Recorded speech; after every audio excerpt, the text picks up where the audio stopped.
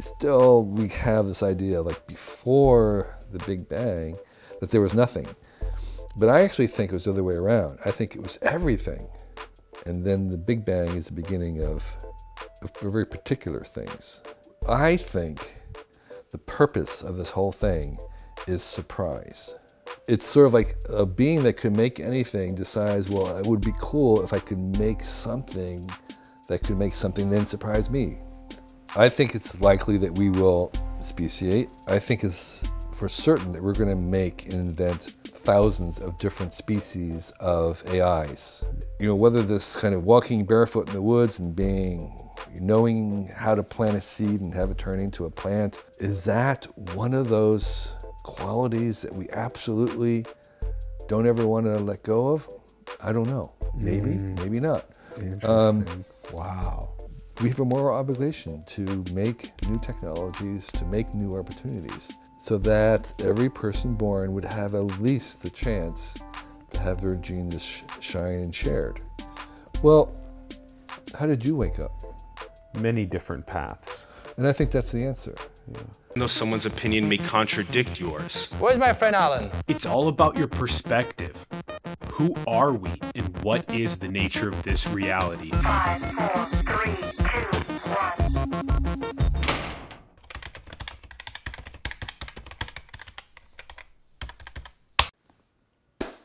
What's up, everyone? Welcome to Simulation. I'm your host, Allen Saakyan.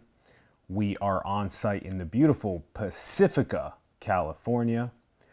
We are now going to be talking about what's next and much more. We have Kevin Kelly joining us on the show. Hi, Kevin. Hey, it was great to have you here. Thanks so much for coming on the program. What a beautiful day.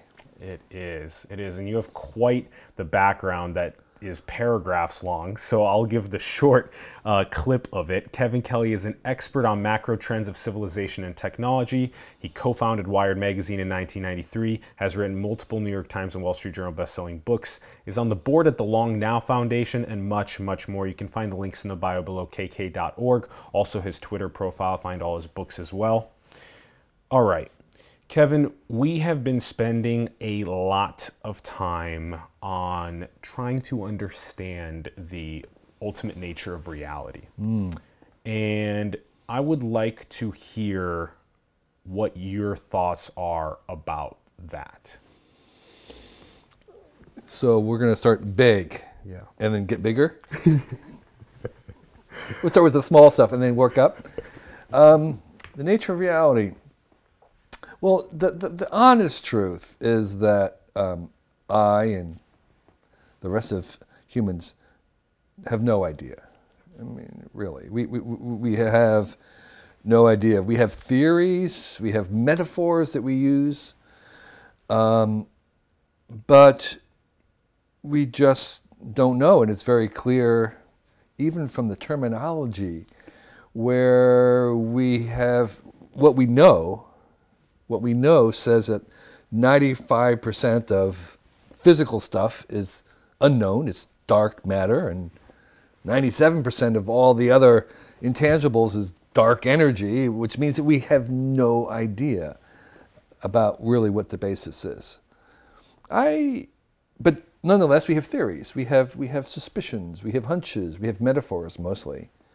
And I think, for me, one of the most promising metaphors, and with the promising frameworks to try to understand things is to assume that the fundamental reality of anything physical, things that would hurt our toe if we dropped it, um, are going to be very intangible, very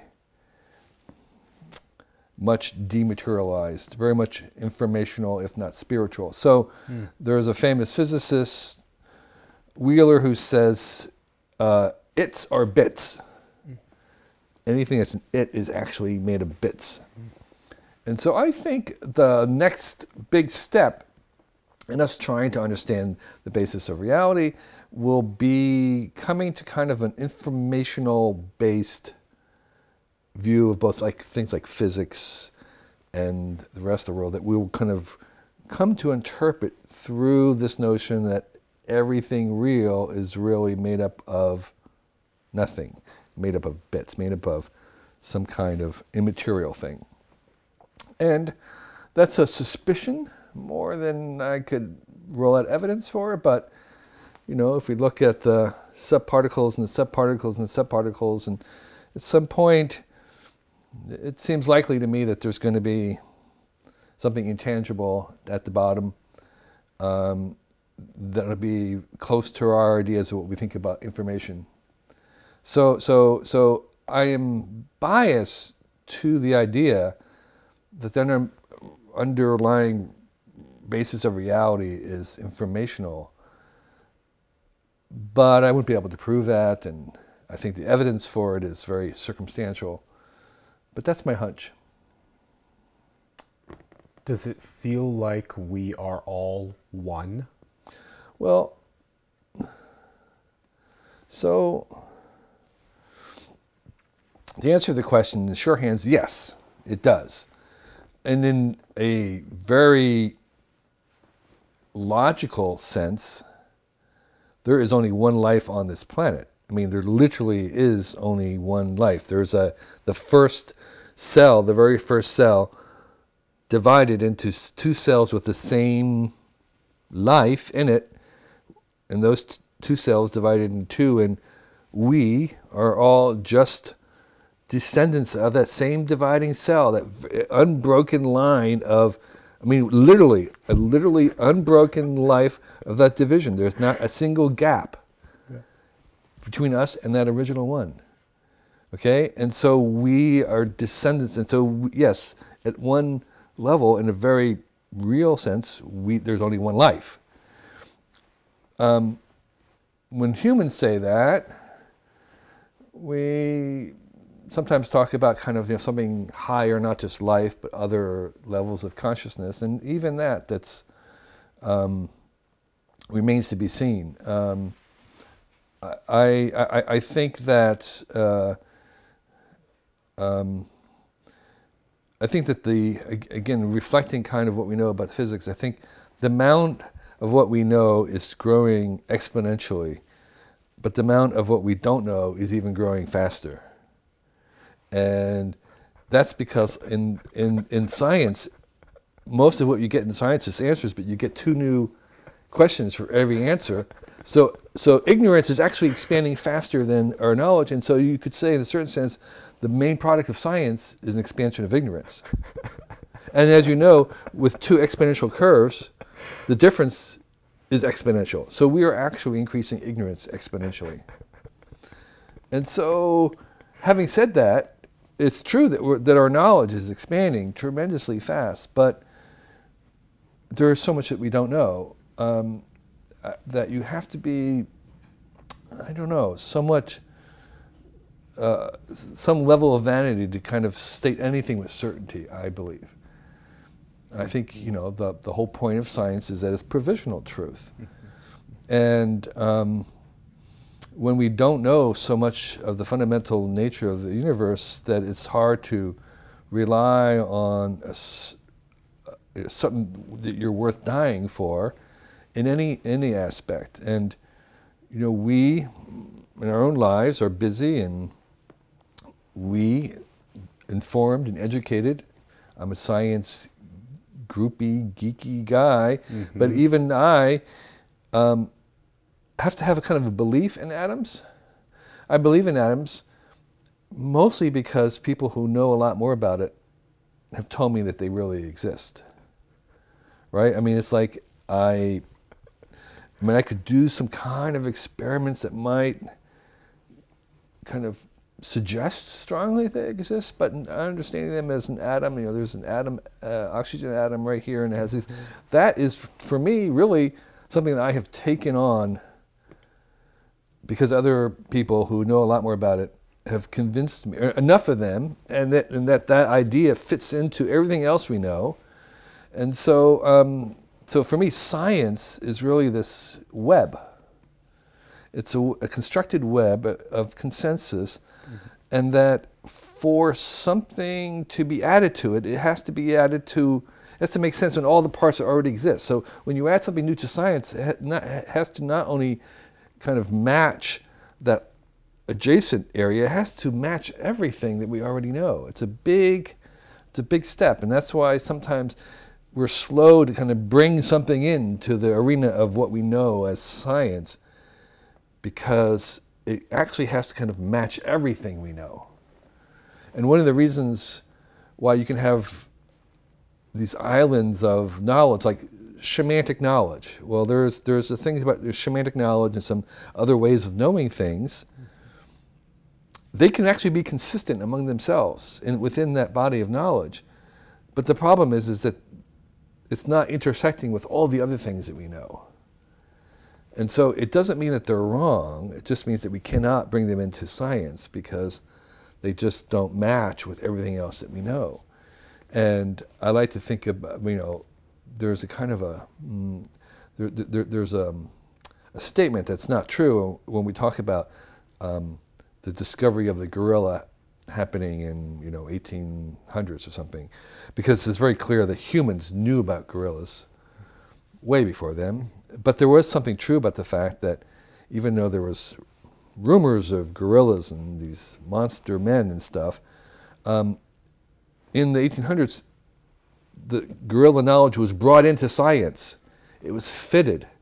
That knowledge, which had been local and very parochial, was brought into the whole scientific world and it was connected to everything else we knew about animals and the natural world. And so, in that sense, it was discovered, but it was being discovered by science, meaning that it had to fit in to everything else that we already knew.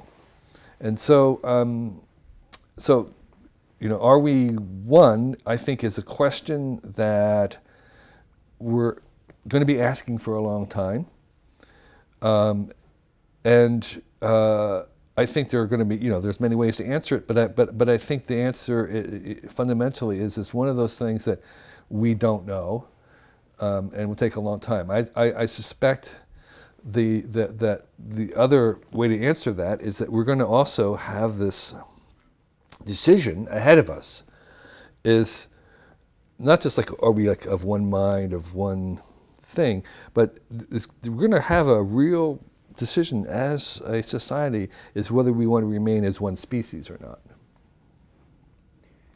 Okay, so so so so so so, so as we go forward, um, we're taking on we're we're going to self-direct our own evolution, our own genetics, and there will be plenty of pressure, plenty of um, interest in modifying ourselves. And there will also be plenty of people, and I know some of them, who will say neither I nor any of my descendants will ever manipulate, intentionally manipulate our genes, even for the so called better. And that would lead to some very good prospect that there might be a forking and once you do one fork, schisms are just in the cards. And so, um, and so the prospect is is that we, you know, unless there is also a, just a general consensus that there shall not be that division, that we won't allow it, which would mean basically that we're going to prohibit um, that engineering.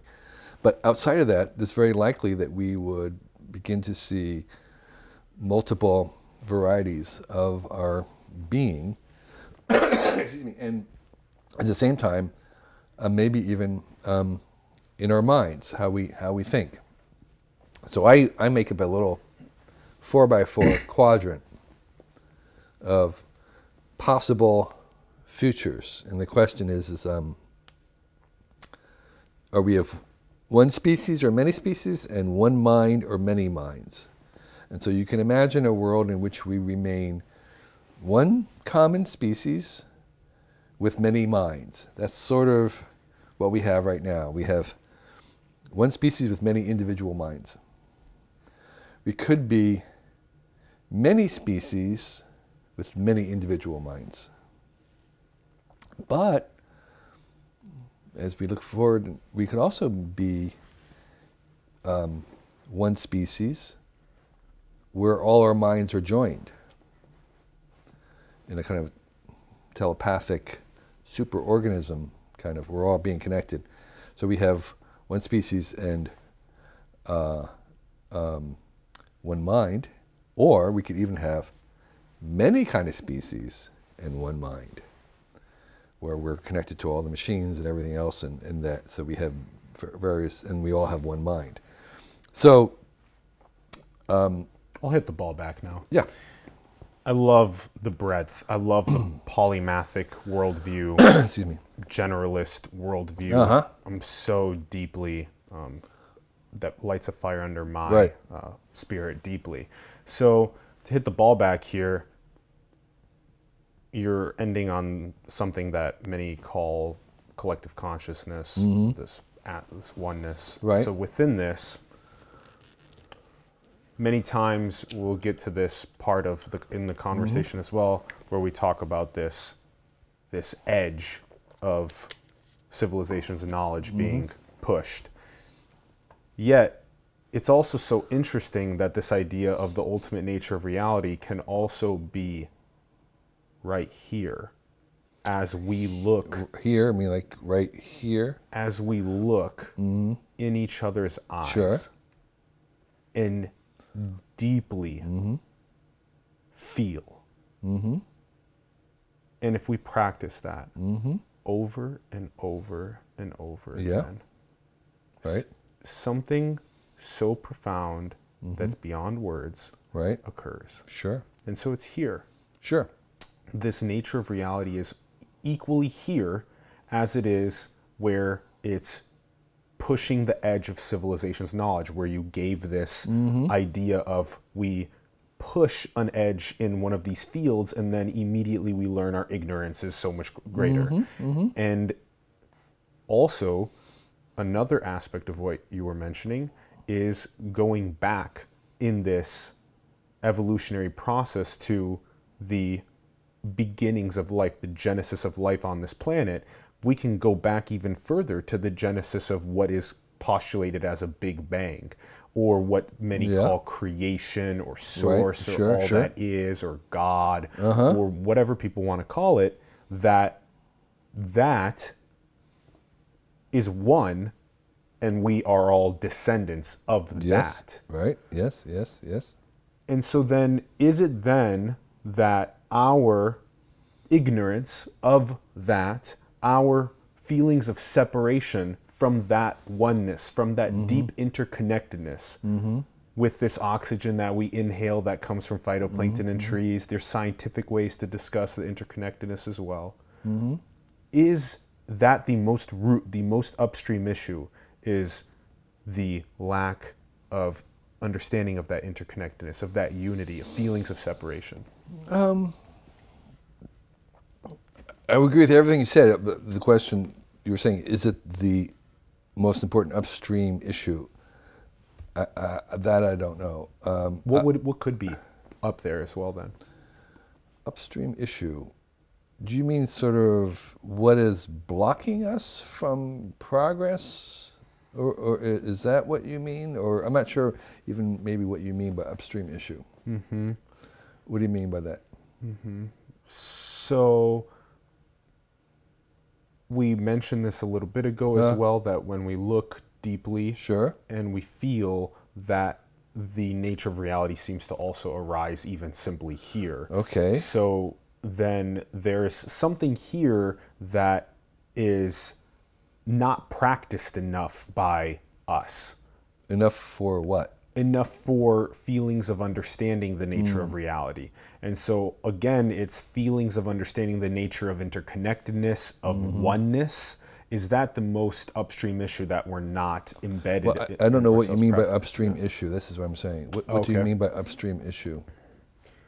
meaning that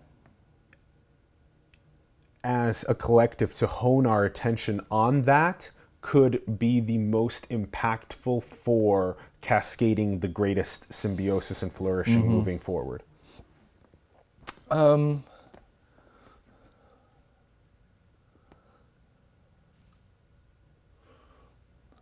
It's a good question. I, I, I maybe have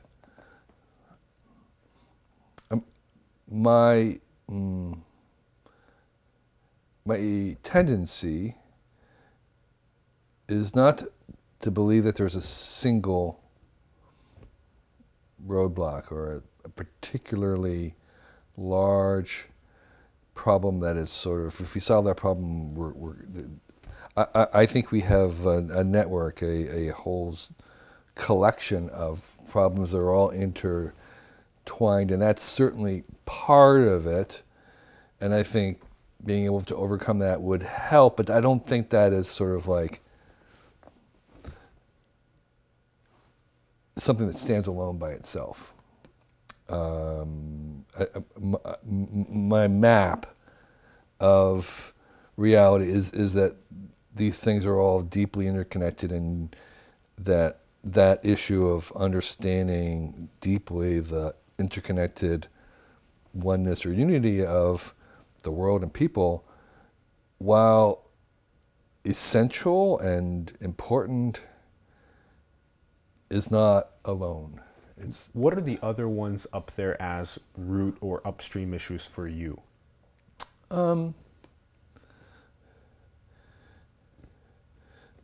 yeah. So it's uh, you know it's like all these things that have to happen at once. Um, I was just reading about the axial age and, and whether that was uh, actually um, the, the idea of the axial age was you know, in about 1000 BC there was around the globe um, all these societies who kind of at the same time in history decided to under to, to, to position to, to see themselves um, as and, and to think about the transcendent and to kind of invent these modern religions of monolithic religions or even kind of the Buddhists where you had you, you, you kind of had this transcendence. And that and, and I think it's no coincidence that that came along with the you know the invention of civilization. And it was per and it was it was because we had a certain level of um, prosperity that allowed us to think about those kinds of things. All right, and so um, and and so what, what what one of the things that that is necessary for us to continue progress in the development of our humanity and making us better humans is you know the the basic um, having enough food, shelter, water for everybody in the world. I mean, it's it's it's very hard to it's very hard to progress in enlightenment when you are hungry. And I think the idea that somehow starving people are more spiritual is just completely wrong. I mean, there is there is a sense of of um, what's the word I want Fasting and asceticism can commune you with the divine as when well. it's voluntary. yeah. yes, yes, yes. when, when when you elect, when when you have enough resources to do that deliberately. Yes. But when you are dragged into it, when it's not your choice, when it is something that is done in desperation, um, there is a sense in which you are kind of closer to the present, but only in an animal way. Okay, and people have moments of transcendence, you know, as they're dying or whatever. But that's not what we're talking about. We're talking about how to make us better at our best, and I think it requires a certain amount of um, we'll call it, we can call it leisure or a certain amount of um, of progress or a certain amount of liberty, a certain amount of things Basic needs being met. exactly for us to be the best that we are. And so part of this gateway is not just the and so you know we want to we want to have those opportunities spread out around the world and we want to have more people who are not hungry every day. Would And- you say to unleash the full inner artist? Absolutely right. And so um, now the question is, well, what's blocking that? And yeah, I mean, at some point, the the the, understanding that you know war is stupid and um, you know fighting, but all those things are actually propelled by the lack of resources and the lack of opportunity. And so so it's a the, the, the, these issues are tightly wound to each other, and that's why I don't really want to separate them and say well, it's, if we just had understanding about the oneness of our own life, we can go on. That does help, but that's not the only thing. So uh, you asked what other ones, and so I think these issues of um, of opportunity, basic basic progress, um, things like literacy, um, the other kind of literacies we were just talking about, scientific literacy, numeracy, um, um, issues of uh, you know th- the spread of of opportunity and the um, of true opportunity around the world in, in, in that diverse way, right? So the liberation of women, half of the sky, you know, being brought into this. Those things, I think, are part of that answer. And so, um, you know, in this campaign, in our quest to become better, however we want to define it, and that's an interesting question, um, I think it's a multi-front um, effort, uh, and, and, and, and Yeah. I think there's there's many things and their list, and we kind of have to do them all at once. That's the weird Yeah. thing. I like the ones that you picked uh, around um, literacy, around um, spiritual scientific literacy, also around the basic needs being met for everyone to unleash their full inner artist. Right. I really love those. Right. So you know, I have a little rant, which I which I will do right now, talking about the role of technology in this, and so um, I like to have this thought experiment where we could imagine um, a genius artist. Let's take Mozart, being born two thousand years before he was. Hmm. Same person, same genes, everything. Being born two thousand years before he was, and he would have been, you know, maybe a farmer, maybe a herder, and his genius would have gone completely hmm. wasted hmm. because there was no symphony, there was no piano for his genius. Mm-hmm. Just walking around being a herder. Uh, maybe he played a flute, you know, nicely, but and so he would have died, and and and that moment would have gone. But we we invented the technologies of the piano and the and the symphony, and so he was born into, and so his genius could just flourish. His artistry was just, and he could share, and it was great for the world and great for him. Well, you know, we could imagine um, Lucas, um, you know, Hitchcock being born before the technologies of cinema, and what a waste that would have been if they had been born before those technologies. And so, Shakespeare being born after writing was invented.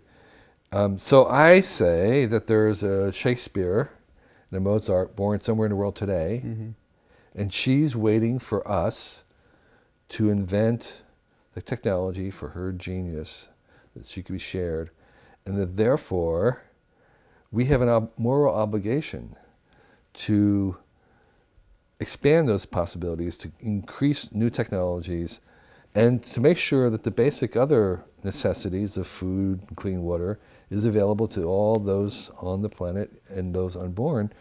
And so we have a moral obligation to make new technologies, to make new opportunities, so that every person born would have at least the chance to have their genius sh- shine and shared.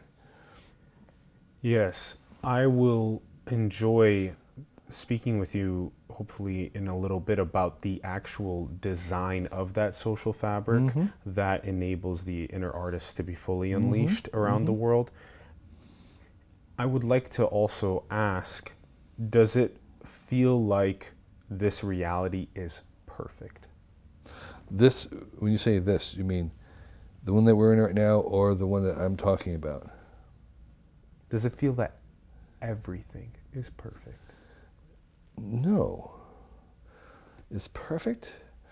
I don't believe in perfect. I'm not a utopian by any means. I think perfect is way overrated Why? because it's dead. One of my definitions of God is sort of like, you know, perfection that keeps getting better, which is sort of, you know, it's like what, that's a weird thing. So, um, I I think uh, most you know, perfect means that it can't get any better. Well, then it's like dead. It's it's dorm. It's static.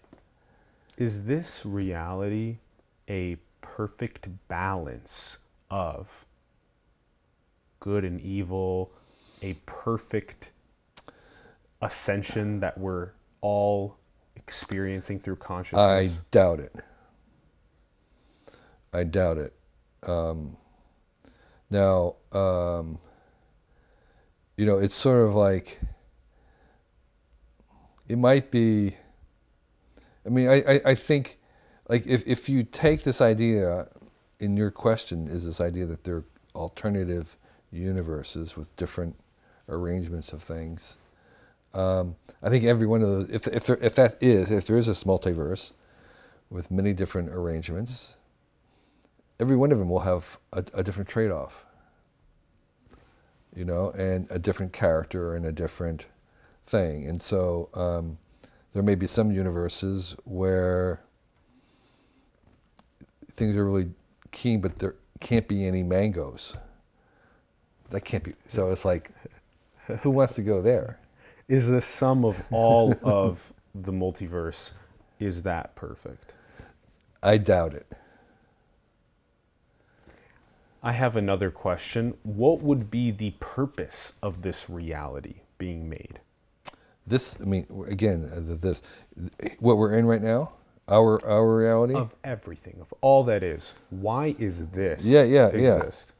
Well, you know, that's been the sixty-four thousand dollar question from the very beginning. People ask, you know, why something versus nothing, and um, again, What's the telos?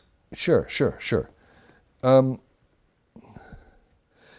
the, the, the, the general the, the, the general kind of intuition, particularly when we look at the scientific view of the Big Bang, is that the origin of all this stuff, this something, if it goes back and back to this moment, mm-hmm. that kind of before the moment, even though there was no before the before, because time is there was no time, so we can't really talk about before the Big Bang because there was no there was no before the before. But still, we have this idea like before the Big Bang that there was nothing. But I actually think it was the other way around. I think it was everything. And then the Big Bang is the beginning of, of very particular things. Hmm. Of nothing, including nothing. That there was there was kind of nothing, space, and then there was these very particular things, taken out of all the possible everything. Everything meaning literally, literally, all possible possibilities. And so um, I think the purpose of this whole thing is surprise.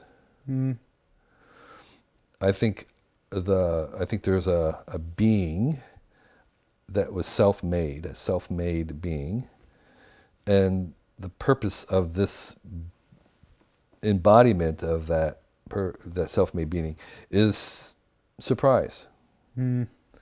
So um, it's like to make something that this omniscient self-created thing could do that was going to surprise itself.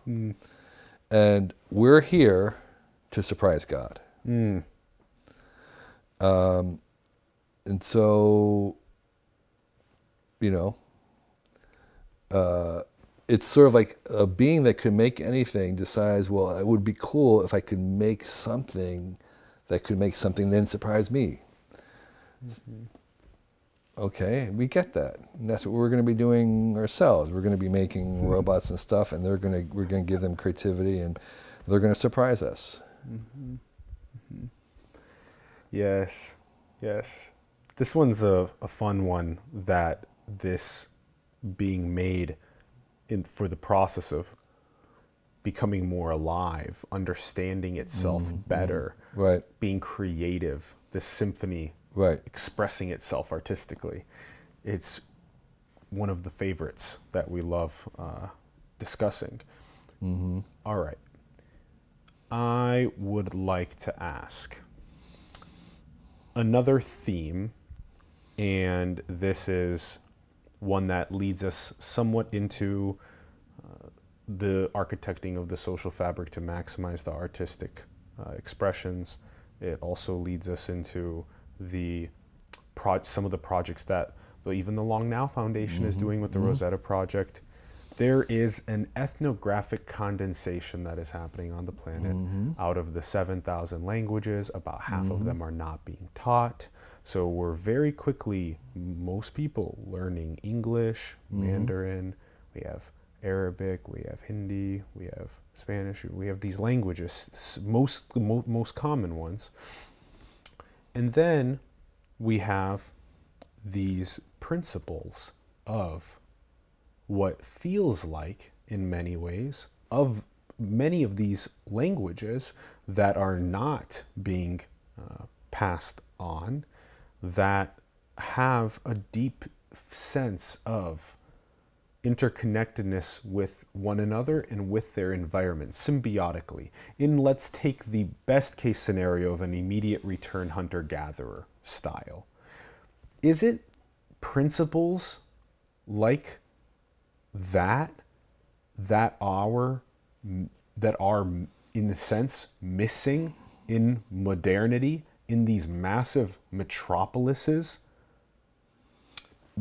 And the that the what are the principles like principles like which which which ones? Uh, um, just Yes. repeat that last question. Yes, yes. Principles like deep interconnectedness with each other and with the environment, Okay.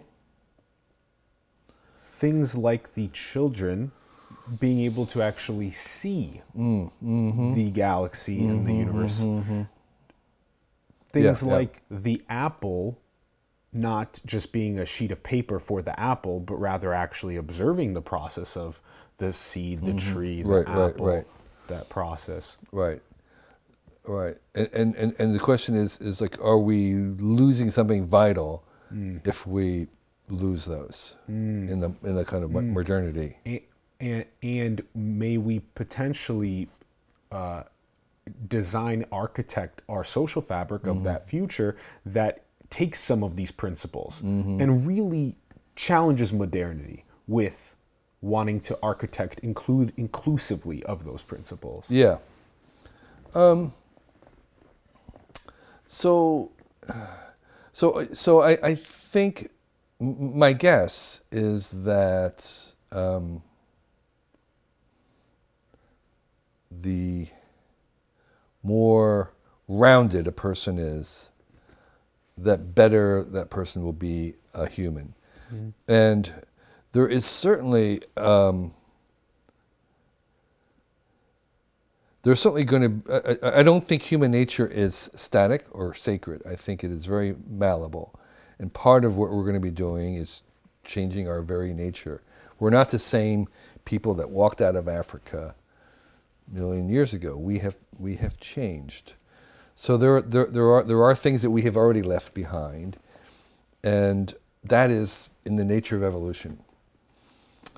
Um, at the same time since we don't know where we're going, we want to retain as many different varieties and approaches and understandings as we can, because who knows what we're going to need, and we don't even know what is actually vital.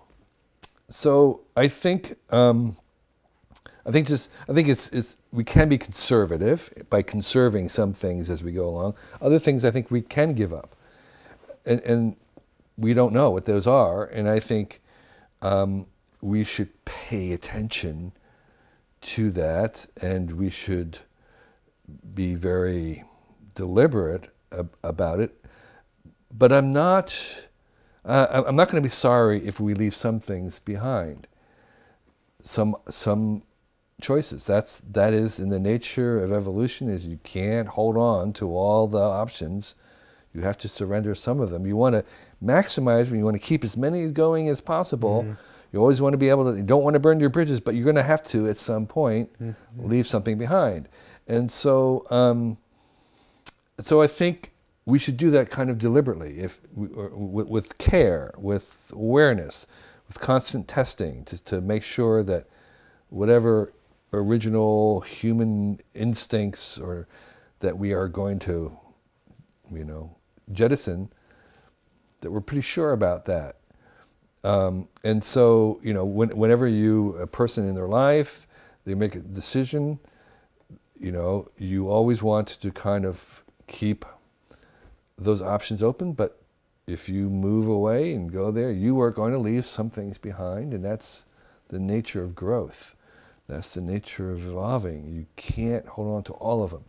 So, yes, whether it, you know whether this kind of walking barefoot in the woods and being knowing how to plant a seed and have it turn into a plant um, is that one of those qualities that we absolutely don't ever want to let go of?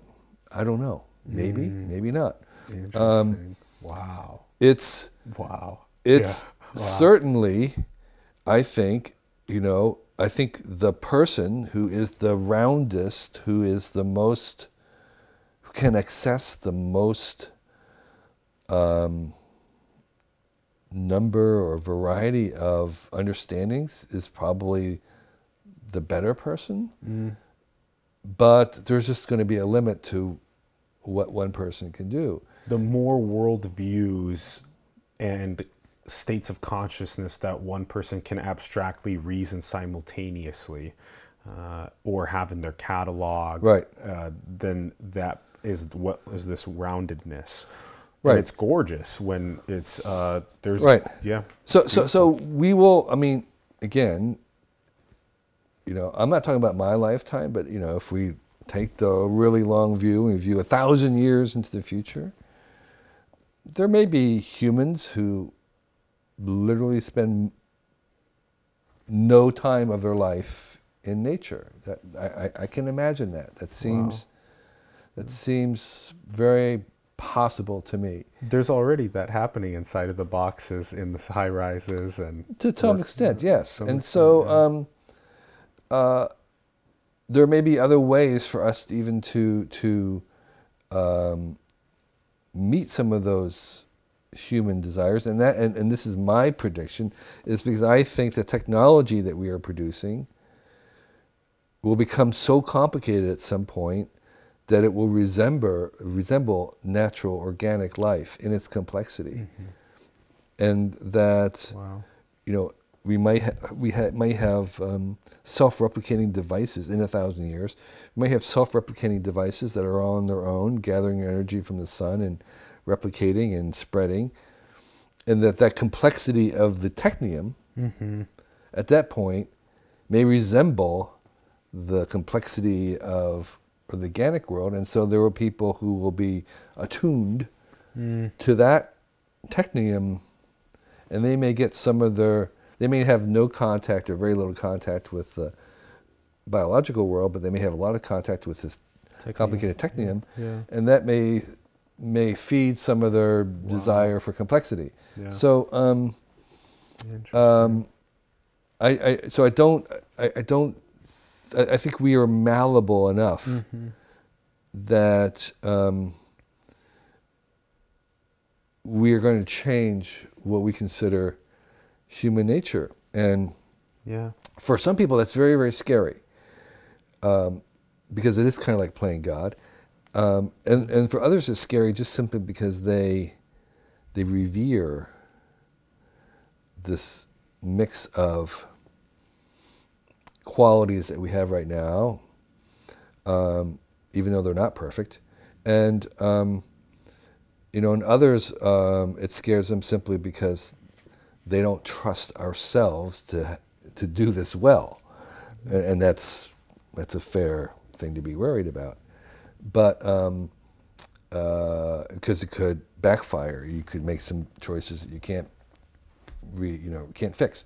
So, um, but I'm I'm I'm a little bit more optimistic, um, in part because I think that this is going to happen a lot slower than you know, the Ray Kurzweils of the world believe. I, I, I'm very dismissive of the singularity idea that this is all going to take place very rapidly. I think this is a very, very slow thing, and that if we are open minded and if we really test and examine ourselves, we will have time to evaluate, to, to, to you know, the, first people who live without nature to look at their lives and see if they're being better humans. Um, and so we will have, we will have time to experiment on ourselves. Leave it to Kevin Kelly to take something like the principle of planting a seed and having harvesting the apple from the tree to be like in the technium there will probably be people that don't know that or which even today we have people that live in metropolises that don't know that so very very interesting and then another uh, point to uh-huh. continue uh-huh. on this as we go through this process of getting into a technium mm-hmm. that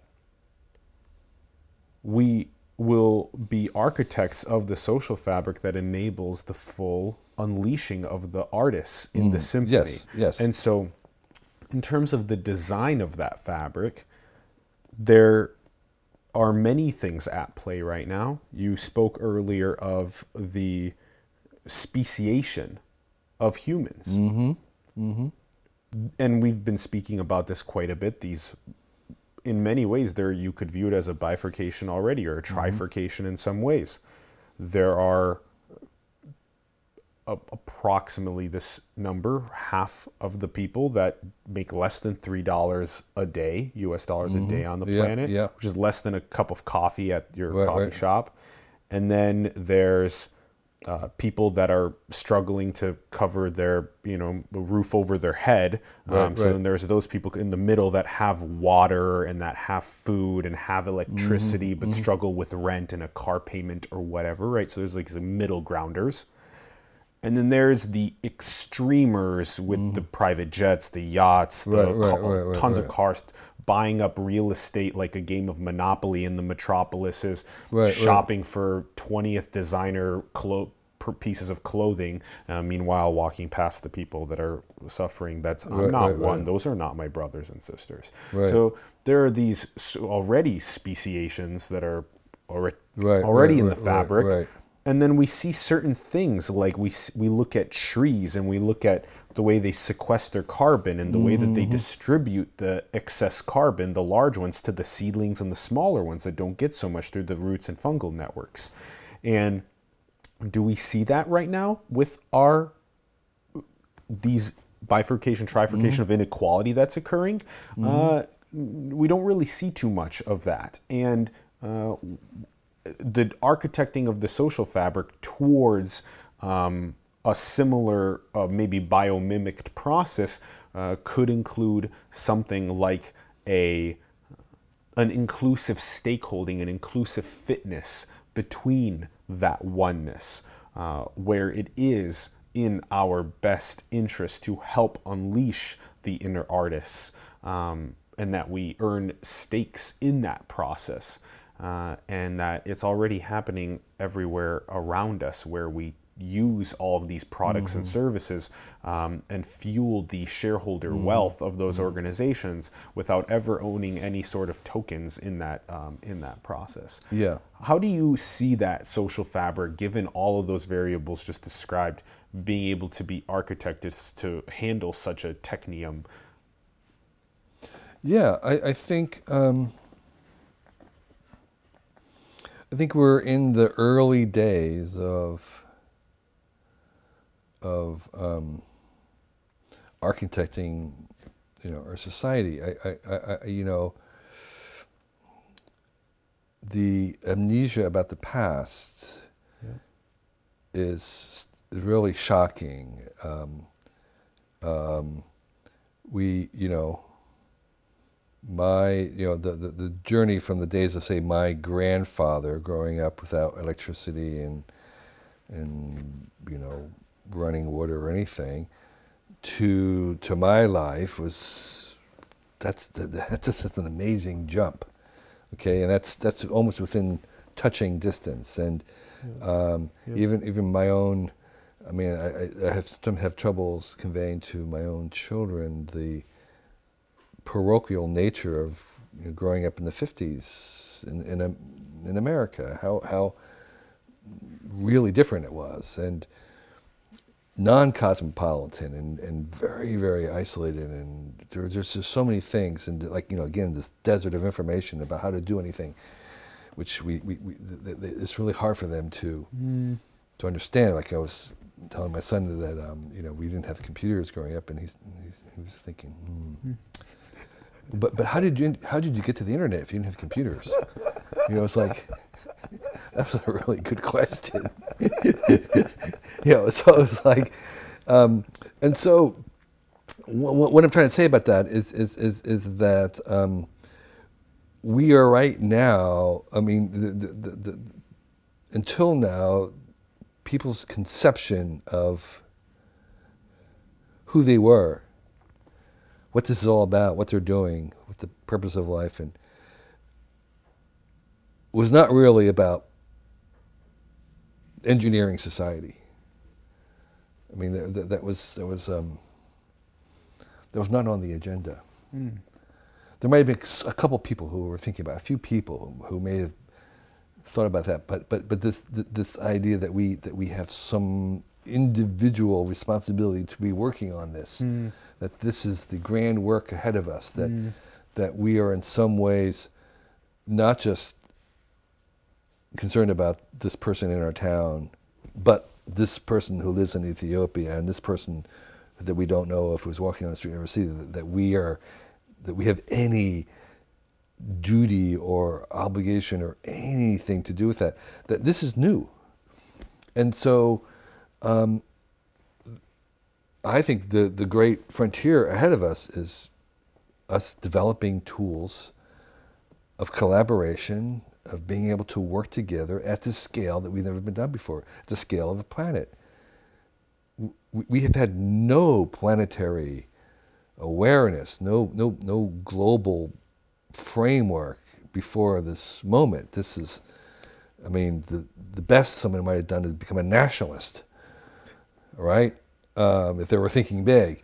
But we're, we're now required to think globally. And, and, and, it's very hard because we don't even have the information globally. And so, um, and, and so we are in the process of becoming aware that this is something we have to do, of to making the society, and then developing the tools that will allow us to collaborate at distance in real time to do these things, Mm. To spread this, these opportunities, to manage all the innumerable, incredible problems that it will create, because we are going to create whole new global problems as we try to do this. Mhm. All right. I mean, I'm I'm not a utopian. Each of these new steps is going to create new problems that we have not foreseen and can't even comprehend. And so, um, and they're going to seem impossible, and people are going to wring their hands and say, "Stop, stop, stop," because of these problems. But no, no, we, we're just going to solve those problems with other new technologies and new opportunities. And so, and so, I, I think. I don't think we know how we're going to construct that society that will allow the unleashing of all the inner artists of everybody. But that is what we can work on. And we can work on the tools, uh, we can work on the social technologies, like how do we vote better? I mean, literally, the literal act of voting can be improved. Um, you know, there's this idea of quadratic voting, and there's this, there's just, we're just at the beginning of how we do this, and um, we haven't made much progress because simply has not been on the agenda, and um, now a sort of forefront. It's like, well, you know, um, when we're connected to everybody else, that's really good. We wanted that, we need that, but then there's all these problems that happens when we're connected to one another, and so all the time. And so, how do we solve that? I don't know, but we're gonna. They are solvable, and when we solve them, that solution will create a whole bunch of new problems. And then the answer to that is not to stop that, but to, to solve those problems with new technologies that will make new problems. And so um, that's protopia. That's not utopia. That's protopia. That's progress. It's incremental, slow by slow. We'll make this out. It'll be a little bit better, not by much, but a little bit better. And that creep, that incremental improvement, is what evolution does. It's what civilization does. It's interesting hearing you mention that this phenomenon of global or planetary Right, right. architecting is recent in maybe a couple centuries and that Well, it's, I would say it's recent, even within the last Couple 50 years, a couple decades. of decades. so It was, ne- it was not possible before. It was simply, the, the, you know, e- e- even the, the picture of the whole Earth came from Stewart Brand and his uh, campaign, you know, and, and, and Apollo. It was like until then,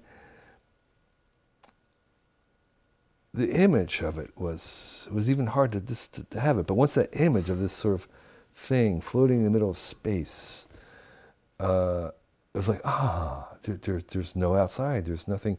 It's all we're all one, and um, that, that that's sort of where you could begin to even just to have that framework of like, well, we've got it, you know, and, and all the climate change stuff is just a, it's a global system. It has to be treated globally, and there's no, you can't have a national solution to it. And so um, it's a very, very recent um, awareness. And within what you were describing around this, all of these new technologies that are being developed for the ability to manage that architecting, mm-hmm. which is the numbers are always staggering around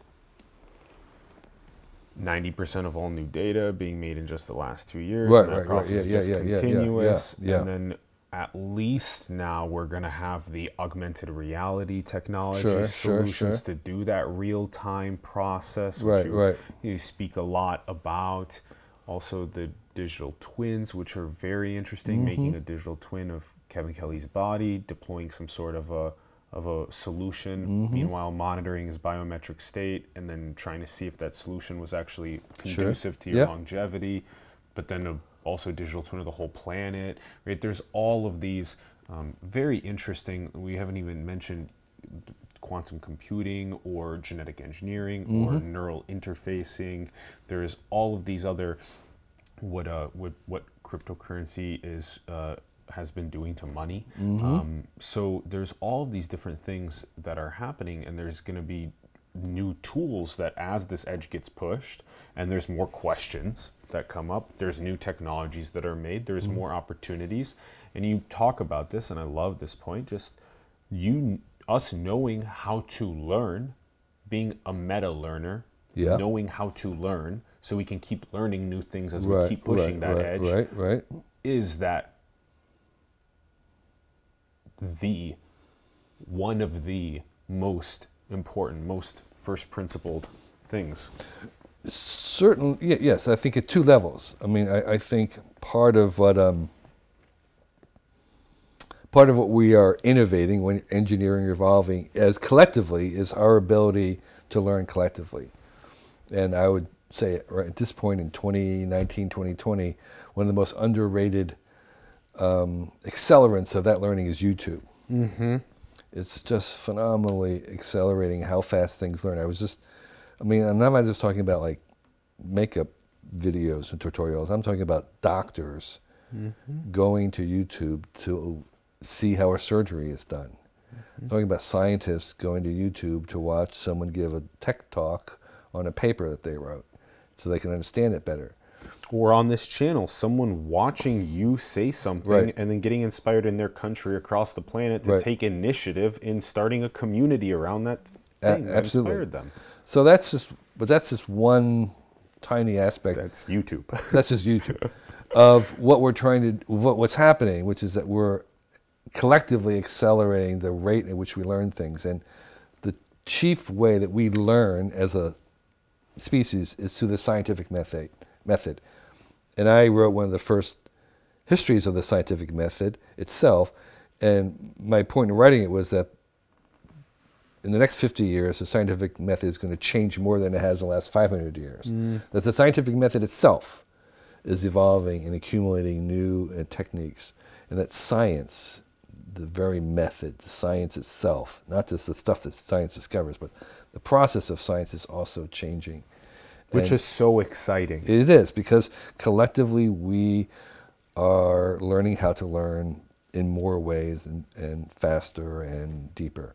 And the consensus mechanisms are Absolutely. really crucial. And you know, foremost among all the changes that are coming in the scientific method is going to be AIs, artificial intelligences. Always say plural because there's many different varieties of them, and they are going to be instrumental in helping us because our human minds are not general purpose intelligences. That's complete myth. There is no general purpose intelligence.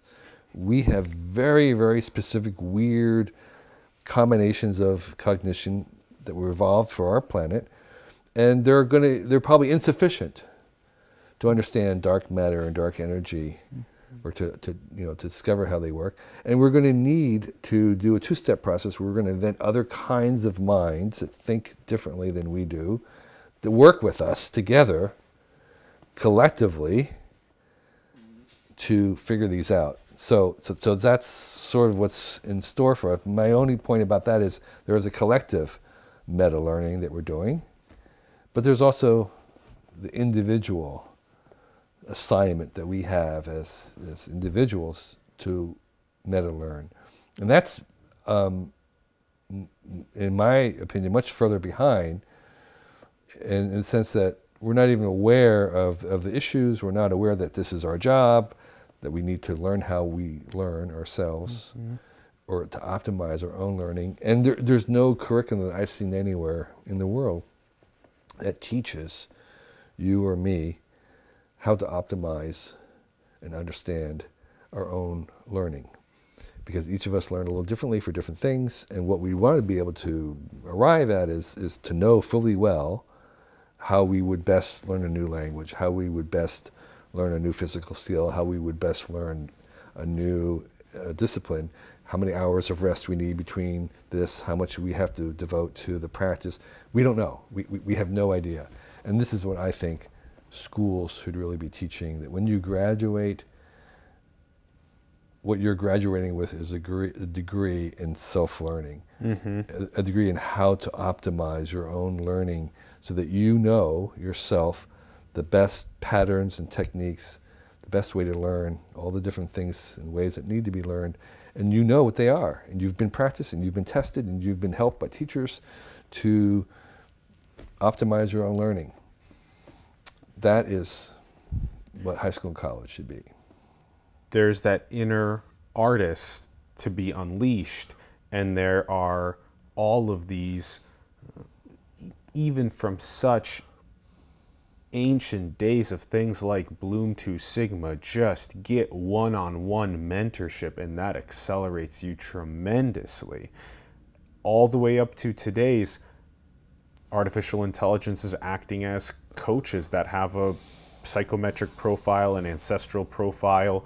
They you, you've you've discussed back and forth about what this uh, this artistic expression is of yours, and there's a tailored daily uh, learning process of, like you said, patterns and techniques around that actualizing that fullest potential. Right. And actualizing means they're conveying to you so that you understand what it is and you can repeat that and do it again. So, so it isn't that you kind of arrive at doing something creative. That's just the first order thing. What we want to know is you want to know what that process was so that you could do it again even better. And, you could, and, and more importantly, that you can actually evolve or optimize that process. That you, there's enough self awareness about this that you can get better at it. And that's what the true artist, you know, the Picasso, somebody, is that they they sort of um, there's a great documentary that does a time lapse of Picasso working on one picture as he paints and repaints and repaints and he painted the same painting over over and, and it's like you say well that you say well that's fantastic. And then he no no no he changed it he said well that's fantastic. And he's, he's changing it again. It's like it's like he's looking for something. He's doing something. What is he doing and what it was was he was aware of what it was that he did, and he was he was trying to sur- surprise himself. He was trying to get to something that he hadn't seen before. He he famously said he wasn't interested in beauty and prettiness, and all the places that we would want to stop were things that looked pretty or beautiful or cool, and he was not interested in that. He was interested in something that shocked him, that was surprising, that was different. And so he, he was an, an aware enough of how he learned and how he did that, that he Love could just produce these. And so Yes.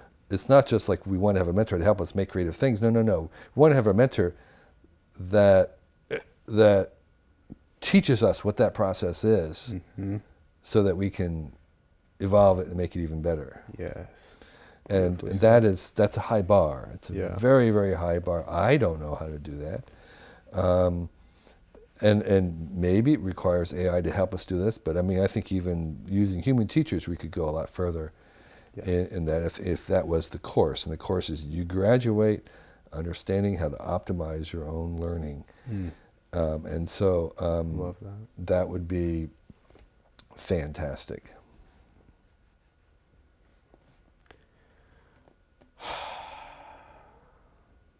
Yeah, that brings, fills me with joy. It fills me with knowing that that is our highest potential and that it is so exciting to feel what it feels like when every single one of us is unleashing the fullest inner artist. Right. Yeah. Um, and you know, I like your use of the artist because, in my framework, how artists go about the world and scientists go about are very, very similar. They're they're parallel. It's the same. Topologically, it's the same process. And in when you have a space, uh, I'm using space as a um, in the mathematical sense of a high dimensional space. When you have a space with as many dimensions as reality has, meaning that there's you know thousands, if not millions, of different variables that are being mapped in that space. When you have a space that's really high variable, and you're trying to navigate through that, you're trying to search through the space, which is what computer scientists would use as a as a way of um, uh, discovery. That you that when you're discovering something, you're kind of going through the space looking for some peak of optimal adaptation. So they mm-hmm. would they would make a map of success, whatever it is, and they would say, when you reach the peak, you're at the peak, and, and the life and, and the search is looking for the optimal, you're searching a path up to the optimal position. And that search, that discovery, is exactly the same process when you're inventing something. So when you're inventing, you're doing the same thing. You're doing the same search. It looks exactly the same. If you were looking at someone searching, you couldn't tell whether they are inventing something or discovering something. And that's why I would say, you know, it's like, did Ben Franklin invent electricity or discover electricity? You know, did someone invent prime numbers or discover prime numbers? Um, was the light was the light bulb language, was the light bulb discovered or invented? the wheel. They're the same thing. It's the same process. And then the artist is the artist discovering the painting or inventing the painting, creating it or discovering. it. It's exactly the same process. Those those processes are basically identical. It's really the same process. So an artist who is coming up with something is often coming up with it in a very similar process that a scientist would come up with a, a new idea. I loved how you also mentioned the not only with this way of viewing discovery. I love that. And also the the way of viewing the rapidly accelerating mechanisms that are changing of the scientific method. That's very important as we consensus figure out what is civilization's collective some knowledge Mm-hmm. and how do we find these question marks at the edge how do we efficiently galvanize resources there have been some big pops recently. Whatever satoshi nakamoto and blockchain is was a massive pop in the last 10 years now has just been pushing a very interesting edge. When you were mentioning earlier this lineage and we are descendants of that lineage mm-hmm. in many ways that itself is a biological blockchain Mm-hmm. is there's very interesting ways of, of viewing it with many orphan chains that have mm-hmm. died out along the way and many again bifurcations forks like you mm-hmm. said earlier too. So the process of us figuring out how to you know what is your inner artist? Is your inner artist in the uh, seeing the overlap between biology and the distributed ledger technologies? Is your overlap between brain computer interfaces and uh,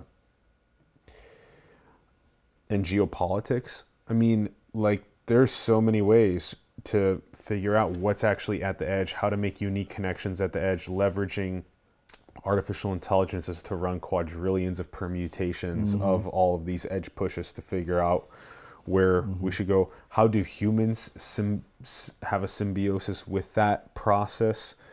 Uh, because uh, is humanity a biological bootloader for a digital superintelligence? You gave us this technium a thousand years from now. What role will we have? Will we be a a, co- will we be consciousness in the digital superintelligence and that is what will exist how do you feel about that Well, I, I, um, you asked many questions there, and, and I guess maybe just addressing the last one. Yes. Um, uh, I, I, I think the general trends in both evolution and the technium is towards more diversity, more mutualism, more specialization. So um, I think it's likely that we will speciate. I think it's for certain that we're going to make and invent thousands of different species of AIs. Mm-hmm.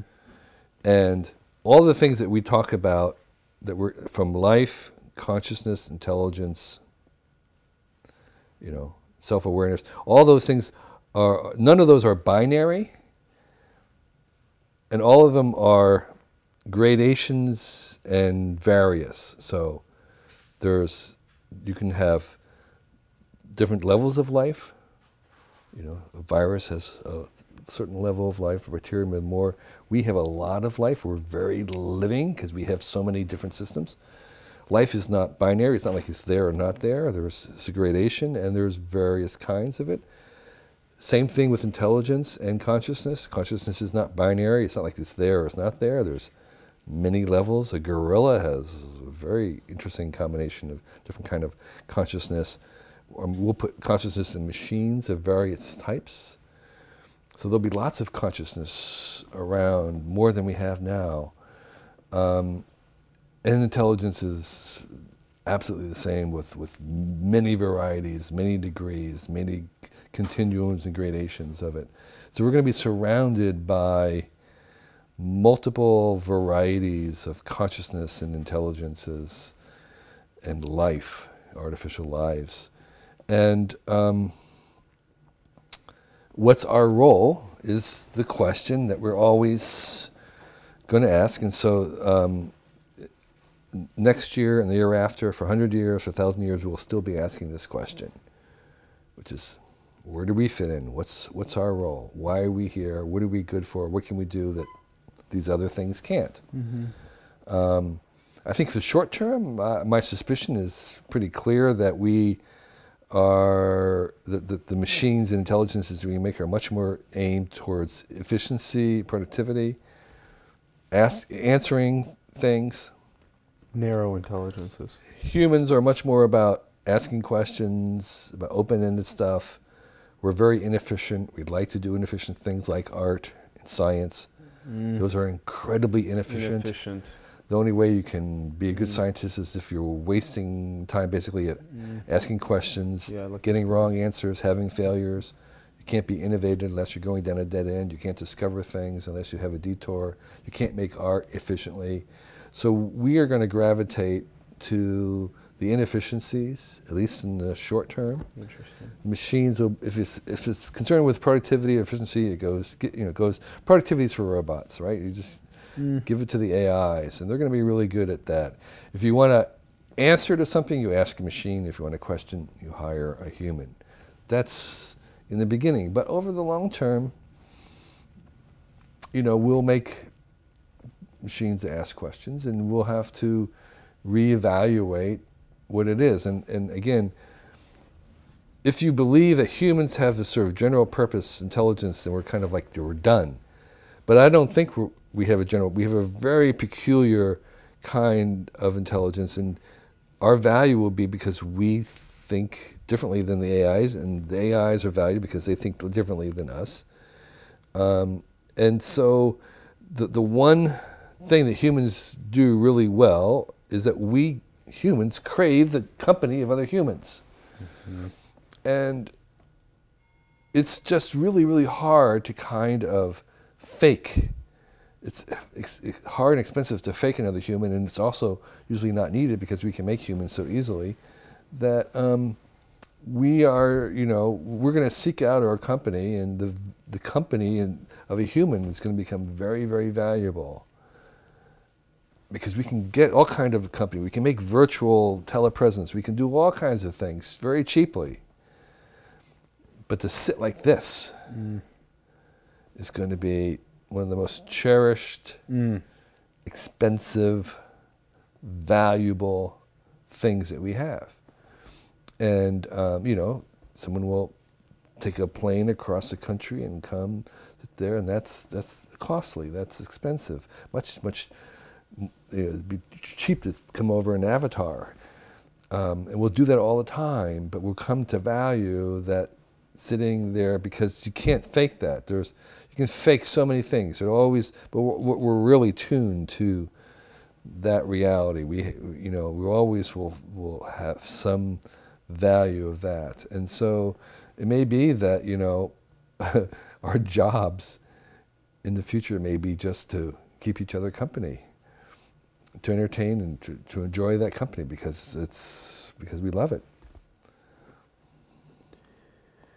Yeah, the the neurophysiological effect of the technologies that we're talking about uh, when I do see an indistinguishable Kevin Kelly that's sitting next to me here and I can't tell. You will you will be able to tell. because we took millions of years of understanding that telling process. And so, in a thousand years, though, that's a, uh, you know, this is some me- Sure, much sure, different, sure. much different than Right. 10 or 50 years from now. So, there's that. And then there's also that I'm very curious as to the really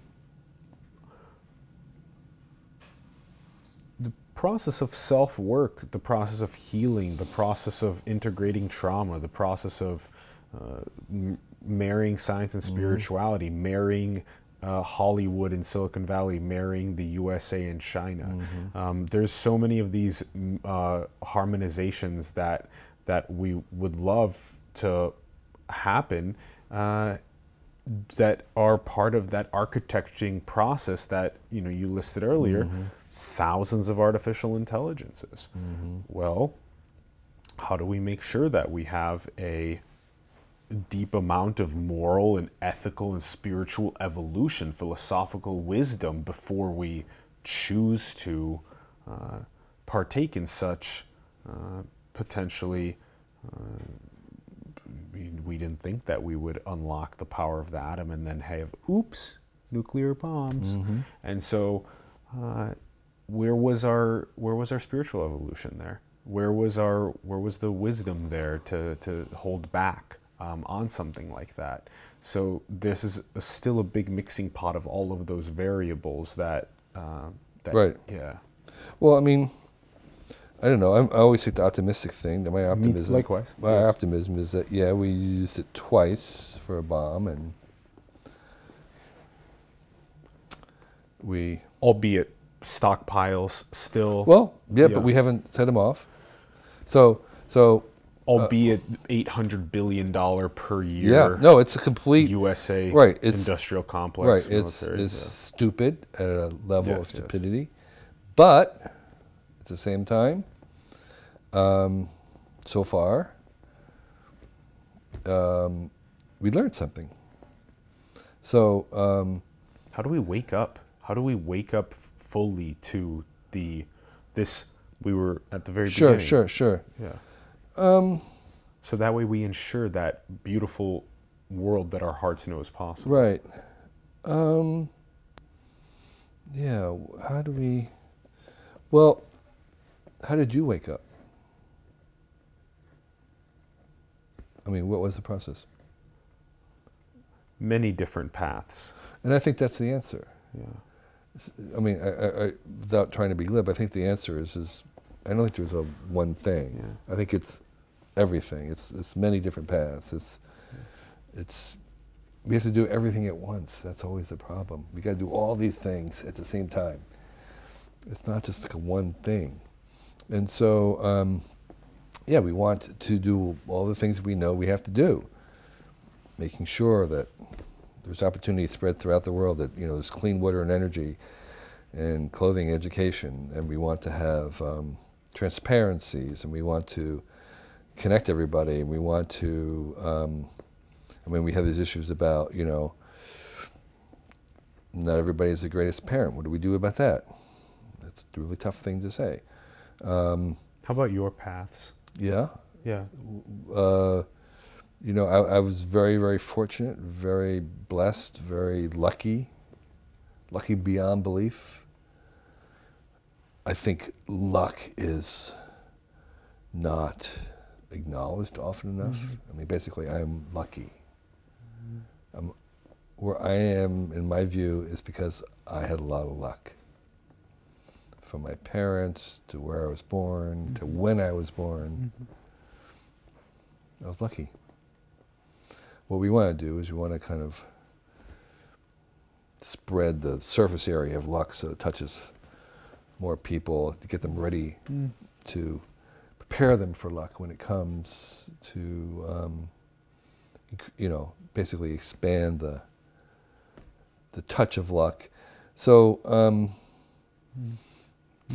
uh, it, and that's what I think civilization is in some ways. Is a way in which you kind of are expanding the surface area of luck so that luck has potential to touch more people, that they can be ready for it. Um, and uh, you know, so so that's so we have that's another thing that we have to work on doing at the same time, um, trying to um, empower Luck- people. Luck can also be viewed as gifts. It can be viewed as Yeah. synchronicity. It's absolute gift. Basic needs that come up as mirrors, in a sense, in the oneness, where it does come up that once uh, I do a deeper amount of self work myself, that all of a sudden my relationship with my family Mm-hmm. changes drastically with my friends, with my inner artist, just Right, right. changes drastically. And so it, we create mirrors as we awaken Mm-hmm. more and more. And right now, the internet and especially social media is a big mirror. And yeah, and there's a lot of very uh, crazy reflection that's happening right now of our uh, subconscious, of our uh, um, both our our our greatest uh, drive for finding the most signal in the mm-hmm. nature of reality, and also the most noise that we've mm-hmm. ever inundated Right. ourselves with. Right. So it's such a. That's why when I mentioned perfection earlier, mm-hmm. I wonder if literally nothing is impossible except to make something as beautiful as this. Yeah, I, I, I think perfection is. It's not just it's impossible. I think it's. Well, it's unattainable, but it's also undesirable. So um, you used protopia earlier. I used protopia with this idea of progressive pro- progress, movement towards something. Um, just like I'm, I'm, I, I'm not a, I don't. There's lots of things that I think are correct about this kind of noosphere, Yeah. Chardin's idea of the, of the noosphere. But what I don't agree with is the idea that there's a convergence of this omega point that we're coming to a point that there's some destination that is teleologically predetermined that we're headed to some end state. Mm. I, I, I think that's totally wrong. What if we learn the source code of this and then make another one? Yeah, I think what is I think there is a I think there are directions. I don't think there's a destiny. I don't humanity is not about a destiny, it's about a direction. So we're kind of moving outward. We evolution, self-organized systems are mm-hmm. radiating outward from the Big Bang, the original thing, with increasing numbers of diverse solutions, diverse specifics, diverse individuals, diverse opportunities. And there's so there's a direction of a radio outward, but there's not some convergence onto an endpoint. So we have the evolution, the world, technium is moving with directions. There's direction to evolution, but there's not a destiny. What is the directional arrow going towards? It's outward. Aliveness. It's going to, it's going towards increasing varieties. Hmm. Whatever we have today, there will be more varieties tomorrow.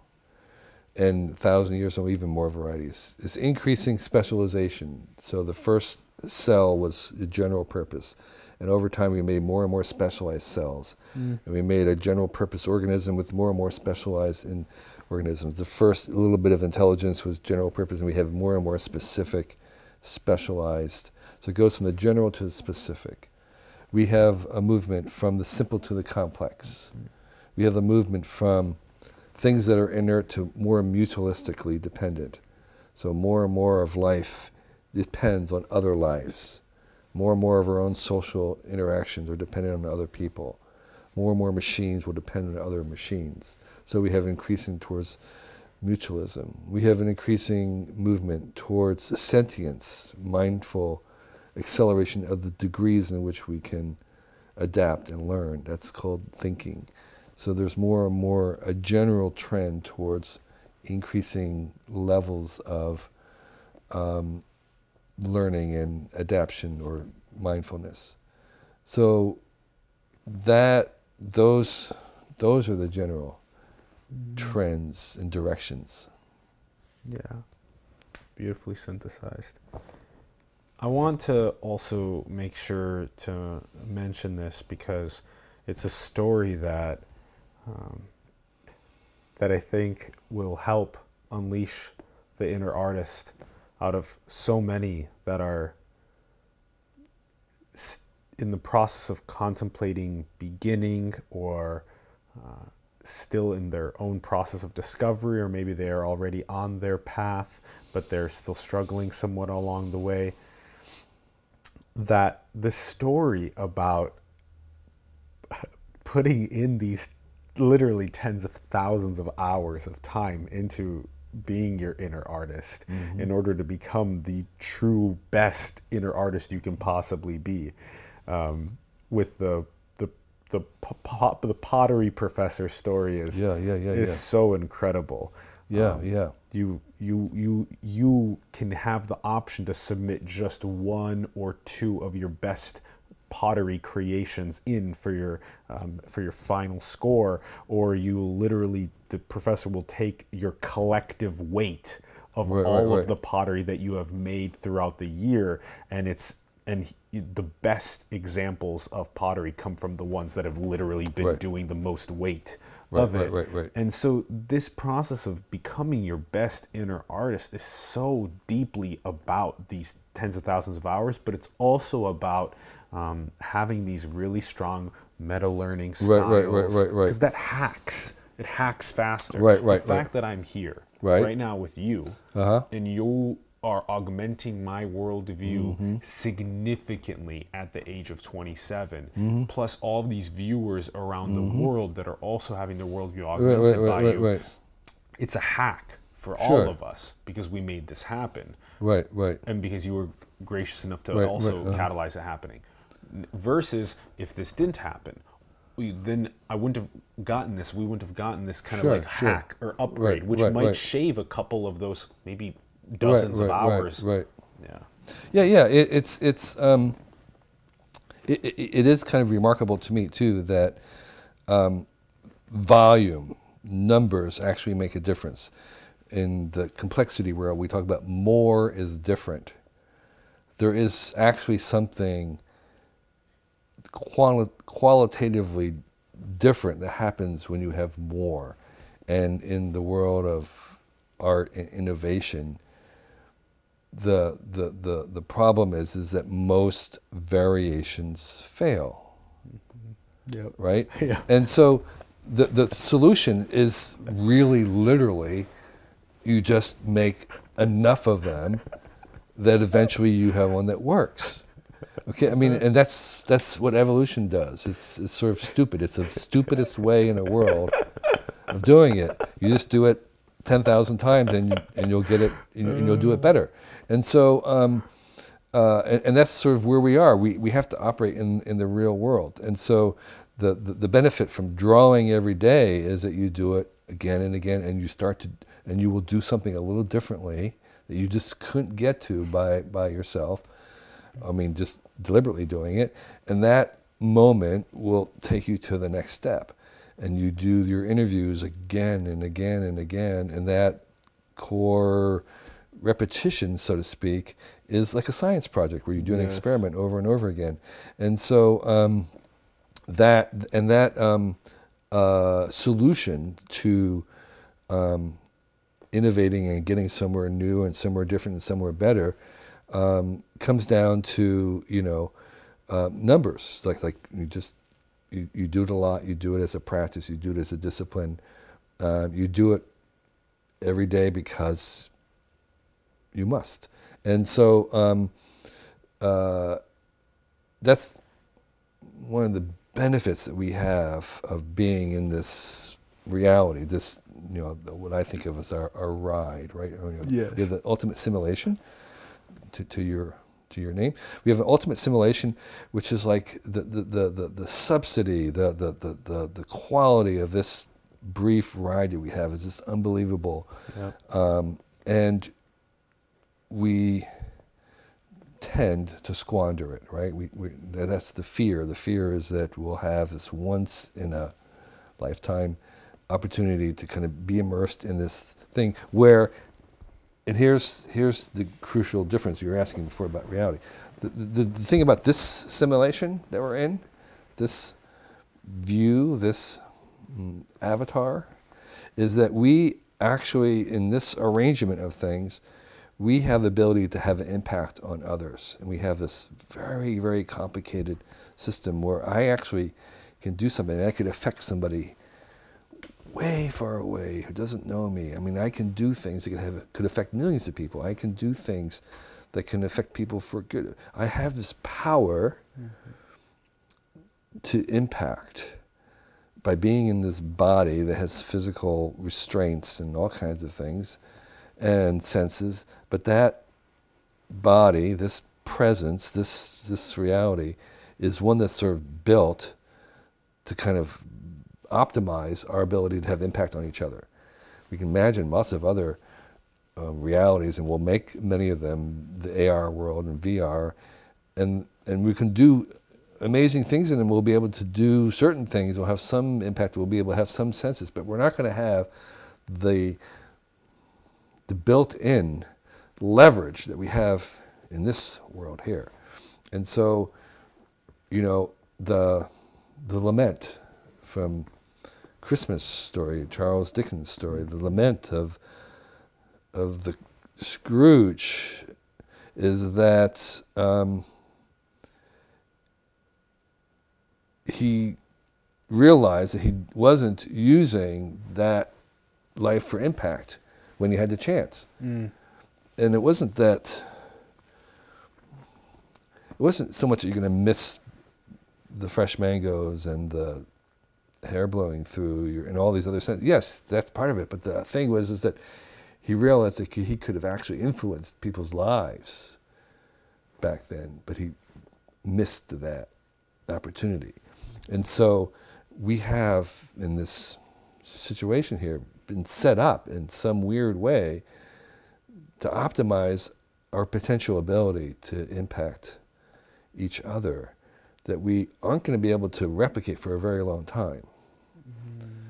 We, can, we can replicate lots of aspects of reality, but this one of being able to actually have the impact in so many different dimensions mm-hmm. is missing and will be missing for a long time. Mm. Wow, there are still so many ways to to go. Um, one of the things that I, I do want to um, bring up is that there is a a popular video right now on the web, and it's at least several years old. You showed it during your talk. Um, I forget what that was. I believe it was the uh, uh, the Japanese artist. Oh, the hyper hyper reality. The hyper reality yeah, video yeah, yeah. where we are ex- uh, we are mm. wearing our augmented reality technologies, and the entire world has um, added. There's a digital layer that's added onto our world that is um, that has you know, very much so like lots of good, lots of bad. Um, right, it's right, like right. All there.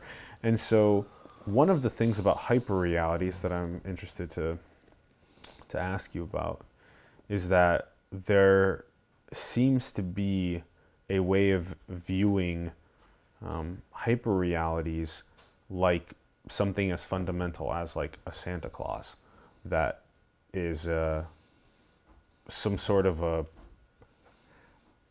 something that's not true that we tell children mm-hmm. and then they believe it's true and that makes a hyper reality where they believe something's true okay. when it's not well yeah so, so a lot of our fictional characters are, are like that like superman has a certain level yeah. of reality as a concept yeah. i mean it's like that that archetype that hypothetical, mythical, it's a mythical character, has some level of reality in our minds because it we can share, we can share, there's something that we can share, there's certain attributes that we would agree on, there's you know, it's, as a concept, it has a reality. Even though it may not real may not be real in physical realm, it has other levels or spheres of reality. Um, ideas are real so so Santa Claus is like that. It's a mythical character that has some level of reality, and and that's a very basic level right. point, though. In the grand thing, which was that you mentioned this at the beginning as right. well, with this whole idea of the atom and us buying into that. Right, right, right. The atoms are all here, and that the cells look and function a very right. specific way, and that uh, that the uh, the galaxy and the universe function in a very specific way. And so then when I look at a, a molecule of, of water and you look at that mm-hmm. molecule of water, can we collectively agree that the molecule of water looks the same? Because Yeah. Well, well Yeah. It, it, these are the ways that maybe the scientific consensus uh, mechanism uh, could hopefully um, upgrade itself in a sense where um, there there could be something that is uh, like a sort of uh, base camp or catalog of what we collectively believe is objective. yeah, yeah, yeah, truth. yes, yes. So, so again, I, I think science is operating with that. You know, it's still very, it's it's a contingent, it's a, it's you know, it's a contingent consensus, but I, I, I think we're on a process now with kind of Google and some of the AIs to actually generate a corpus of statements or knowledge that is graphed, that is connected together, that we would come to accept in a consensus way that was true. So would have a statement saying that you know London's the capital of England, and most everything else in that corpus would agree with that. Therefore, it has you know 99.9% agreement, and therefore we can say, well, that's true. Um, so there is a consensus, and consensus works. Um, I'm not sure. You know, we were thinking about this this idea of, of, of virtual realities and alternative versions of things. The hyper reality. The hyper reality is where that can be a slight issue when we have Right. a, a planet that is spherical that still people say is computer generated imagery right. when the space photos are released. And so th- there's a hyper reality happening where it's uh, there's a there's a scientific consensus that is aiming to be made around uh, spherical planet orbiting right. spherical Uh-huh. star, Sure, spherical sure. moon orbiting that, and then there's a body of people that say that no flat Earth or no it's Right, right, CGI, right. and so we have, in a sense, a sense-making mechanism Right. Right. that is uh, deeply uh, a part of this uh, push that we've been talking about through the conversation that um, will will may that may need these first principles like you are describing where there are these statements that hopefully uh, you know children being born into the world can uh, can enjoy the a statement like the planet orbits the star and that the breath I take in comes from phytoplankton and, and trees. yeah. Yeah. Yeah. I. I'm, Yeah. I, I think that's mostly there. I mean, I think you know, I, I'm not. Th- there's lots of issues with this kind of fake news and conspiracy stuff. I'm not as concerned about the flat Earth people. That's just almost to me almost like a performance art. I don't really take it very seriously.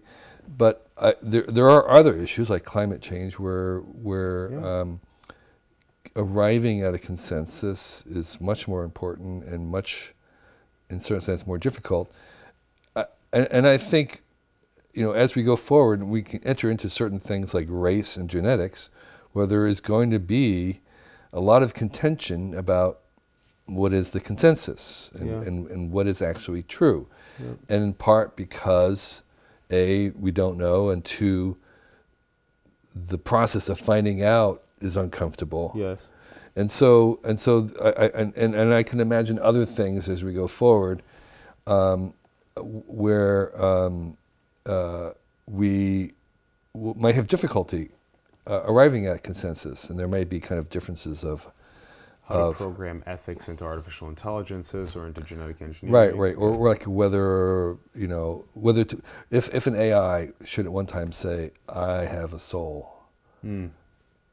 and then there'll be questions about whether to accept that or not. Do you believe that or not? What's the evidence? And so Yeah. the whole the whole the whole issues around consciousness and how we would define it or even um, uh, verify it. So I think I, I so so I I think there will be issues that we may not even know where we stand on right now that are going to come in the Yes. future. Um, but I do, uh, but I think in general, um, we are moving to a, a place. And again, the thing about the thing about these truth things is that um, they're brought in only if they can be connected to everything else, um, and then they become useful. And the problem with uh, lots of things that aren't true is they're not useful. I mean, mm-hmm. the, w- one of the things about evolution, in terms of like the evolution debate with the creationists, is that the thing about evolution is it's incredibly useful. It's with evolution, the old Earth, the idea of geology and layers. That's how you find oil, mm-hmm. right? I mean, mm-hmm. th- that that knowledge is used to determine where we find oil. Is there's a use to it. Creation science is completely useless. It tells you nothing. There's no predictions. There's it's it's it, you know it's by its nature The you- utilitarianism right helps. of truth is so Okay. powerful Yeah. okay and so um, uh, when, when, when you can bring it in and connect it to everything else it increases its values Yeah. so like other things things have values by how much they're connected data alone is never valuable data only becomes valuable when it's connected to other data the structuring of it. Right, and so and so that's the so, so the problem. Not the problem. It's like a to me, it's a self-terminating, self-limiting problem about these tr- untruthfulness because ultimately they were just proven not to be useful. They can be distracting and causing problems, but they're going to disappear eventually because they simply aren't useful enough Yes. in the long term. Yes. In the short term, they can cause a lot of problems. Yes, and there you've used this, and we use it several times. Species amnesia is a big thing, where we don't yet know so much, maybe even as high as ninety nine percent of all of the archaeological excavations have yet to still be found around the planet, and here we sit with this clock ticking of them disappearing. Right. And so, in order for us to understand that, or in order for us to understand something as where one person may use this word conspiracy, people still want to um, uh, investigate into something as recent as under 20 years ago, uh, the 9 11. People still want to investigate in and understand what is really the truth of that. Or Yeah. even as recent as just a couple months ago with uh, Jeffrey Epstein. Right, right. Similar Right, right, thing. right. People want to know what is the truth. Right. Who, if any, are real, true puppeteers Sure. or moving knobs. Right, because when we had Cambridge, Cambridge Analytic, people want to know the truth behind it, what, who was behind it, and, and so so that that that that interest is not just on the right; it's, it's on the left as well. It's everywhere. People understand that there are big dynamic systems, that the elites, the powerful, have um, motive have motives to um, shape the world. So it's a, it's a very natural question, I think. The it's, it's a natural question to ask, but the difference would be, what do you accept as as evidence or proof? What's what's your criteria? And here's the thing in, in this new world that we're in, and that is is that um, it's almost impossible in today's media to ascertain the truth of anything in real time um, by the evidence of itself. And so if you look at a photograph or text, you can't tell whether that's been altered. If someone sends you a message, he said this, well, anybody could change those letters and you could just make up something. How would I know they really said that? Here's a photograph. Do I believe it? Well, anybody can Photoshop it. And here's a video. Well, anybody can make a deep fake these days. I can't believe that. The only thing you can believe is the source. Mm-hmm. And the source is only believable in terms of their history, of how reliable they've been in the past. Mm. Or n- if they have an umbrella, or if they've been vetted by someone else who's reliable, like a newspaper or something. And so we're we're coming down to basically the point where you can't tell right away in real time whether something's believable, but all you can believe is their source. Hmm. And so that's sort of where we are. And part of what we want to do is make a system where the sources of things are embedded into the thing so they can't be taken apart so that you can always so you'll be able to just say well where did this come from because that's really the only thing Yeah. that we can ascertain in real time eventually we'll figure out but um, in real time we can only evaluate by the source full circle because the same thing applies to this reality. It Right. all goes back to source. Right. It's so beautiful. Right. Very last question. Sure. What is most beautiful? What is most beautiful? Oh boy. hmm. Hmm.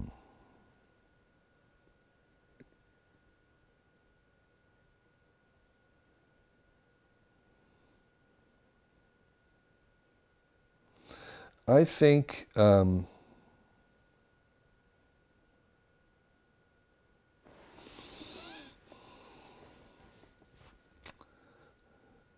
for me, I think the most beautiful things are acts of selflessness, of, um, in some ways, um,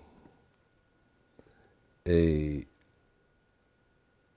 a generous surrendering of one's own interest for the benefit of others, that kind of um, a kind of almost um, unreasonable um, help. It, it, to me, it's just the most beautiful thing in the world. Someone who, you know, by every logic should not um, diminish their opportunities for the benefit of someone else. That to me is beautiful.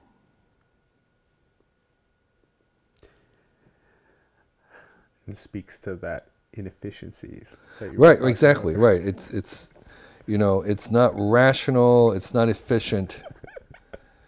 it's extravagant, it's generous. It's surprising. It's art. Yes. It's beautiful. Yes. Which in the long run may actually end up being part of efficiency, potentially. Um, no, it's it's the, it's part of opportunity, the expansion of choices. It's which itself. I mean, so the thing about it is that the universe, Part of the whole. the universe, is totally inefficient. Right? It's it's the universe is it's the most extravagant, irrational, Couldn't I, paradoxical. couldn't I say the same thing and call it an efficient symphony, though? Right? It's it's it's it's just uh it's non-mechanical it's it, it's irrational. It's it's the most beautiful thing because it is an act of it's a gift. It's an act of selflessness right? I mean the, the, the universe as a whole. Because there's because there's really no reason for it in the sense of um, accomplishing um, An efficiency. an efficiency, right? uh-huh, Versus a symphonic expression. Right, a- as a gift, As a gift. right? Yeah. So, so, so you can almost reduce my my my response to saying is the, a gift is the most beautiful thing. Wow. Wow, Kevin, thank you. Thank you. You're- Thank you. You're very welcome. I enjoyed the conversation. I'm so grateful. It was surprising and a gift to me. This has been a huge gift to us. Thank you for coming on the Sure. program. Thanks everyone for tuning in. We greatly appreciate it. We'd love to hear your thoughts in the comments below in the episode. Let us know what you're thinking about all of these topics that Kevin was talking about on the program. We'd love to hear your thoughts. Have more conversations with your friends, families, coworkers, people online about these subjects that were discussed. Get catalyzing these thought provoking conversations around our world check out the links in the bio below.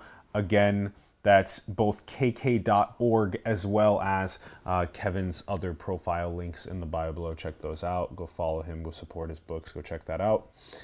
And also support the artists, the entrepreneurs, the spiritual leaders in around the world and in your community. Support them and help them grow. You can find simulation. All of our links to our show are below. PayPal, Patreon, cryptocurrency. Do support us and help us continue flourishing and go and build the future. Manifest your dreams into the world. We love you very much, everyone. Thank you for tuning in, and we will see you soon. Peace. Great. Okay, Wow. good. Yeah, that was a great first round. Okay, Together. Yeah. good. Yeah.